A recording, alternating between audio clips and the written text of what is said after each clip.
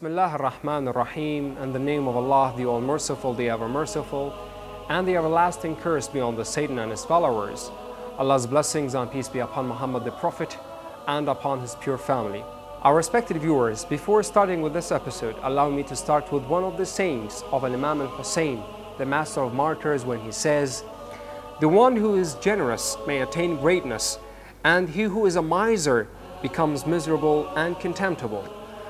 Our respected viewers, peace be upon you and welcome to Who's Imam Hussein, a series of episodes in which we talk about the different stages of Imam Hussein's life, starting from his miraculous birthday, talking about some of the stories and events happened to him during his holy life, mentioning some of the prophetic traditions and quotes said in his right by his grandfather, and then ending up with his unmatchable martyrdom. My name is Hassan Hadi and I'm honored to be hosting this program.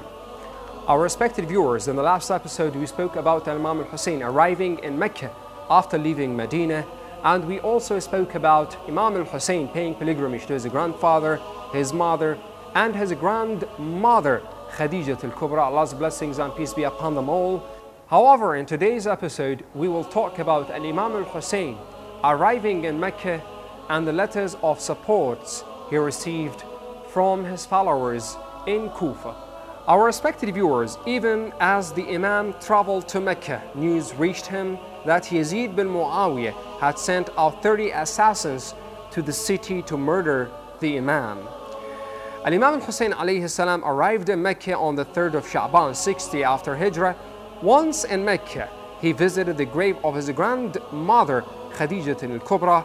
Immediately, the Imam began receiving letters of support from Kufa where the Imam's supporters had learned of the death of Muawiyah and Hussein's refusal to pay allegiance to Yazid, namely the son of Muawiyah. Allah's curses be on both of them. In Kufa, Sulaiman bin Sarad informed the Shia who gathered in his home about these matters and said the following Muawiyah is dead. Al Hussein has withheld giving his pledge of allegiance to Bani Umayyah and has gone to Mecca. You are his Shia and the Shia of his father, namely Ali bin Abi Talib.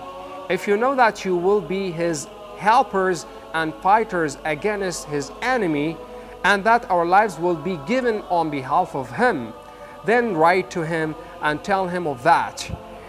But if you fear failure and weakness, do not tempt the man who risked his own life to this, the Kufians responded the following No, indeed, we will fight his enemy and we will give our lives for him. Thus, our respected viewers, the Shia of Kufa wrote to Imam al Hussein the following letter In the name of Allah, the Beneficent, the Merciful, to Al Hussein bin Ali, peace be upon him, and upon his father from Sulaiman bin Surad and the believers and Muslims of his Shia among the Kufians. Greetings.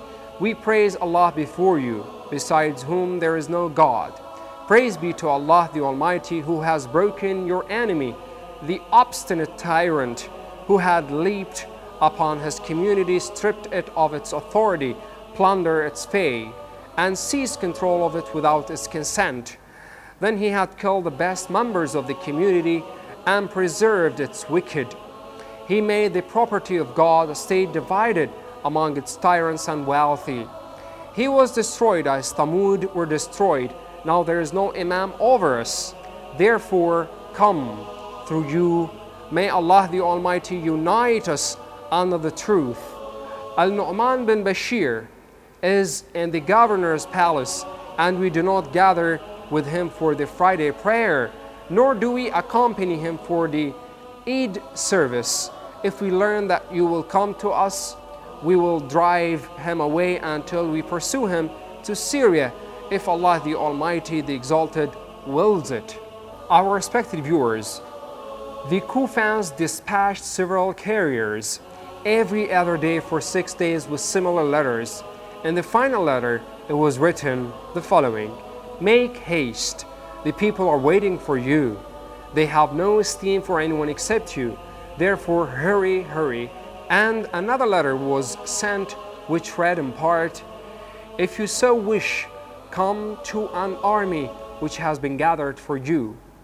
Our respected viewers, upon reading this outpouring of support, he inquired further with the carriers about the condition of the Shia in Kufa in order to verify the contents of the letters as well as a gesture of support to Shia in Kufa, the Imam decided that he would send the veracious Muslim bin Aqil to their city to investigate what was happening right there.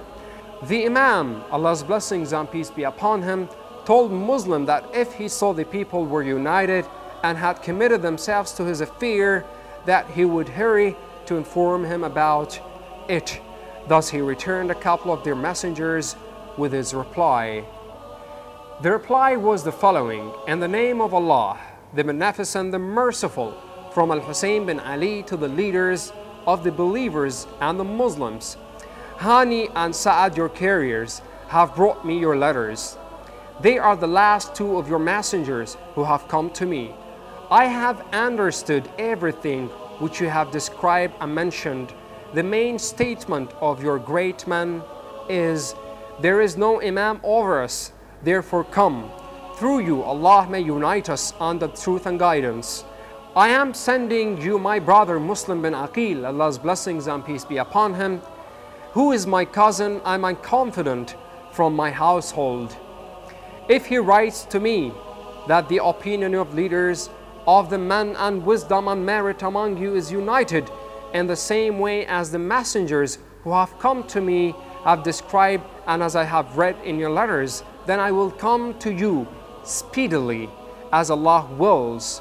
For by my life, where is the Imam except one who judges by the book, upholds justice, professes the religion of truth, and dedicates himself to the service of Allah the Almighty and peace.